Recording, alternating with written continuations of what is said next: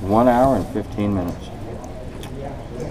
I sure am glad I spent $80 on this piece of shit.